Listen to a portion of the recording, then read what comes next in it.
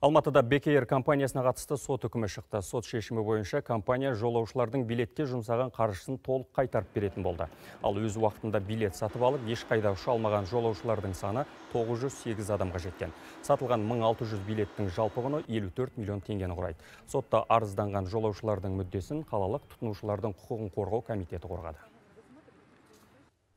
взыскать бек компаниясына мемлекеттік кірісі үшін 16 миллион 251 мың теңге өндірілсін. Шағымданушы инсанов қуандықтың 22 мың теңгелік шығыны өтелсін. Прокурордың апелляциялық арызы мен өтініш хаты азаматтық кодекстің 434 бабына сәйкес алматы қалалық сот алқасына азаматтық істерді қарау бойынша жолдай алады.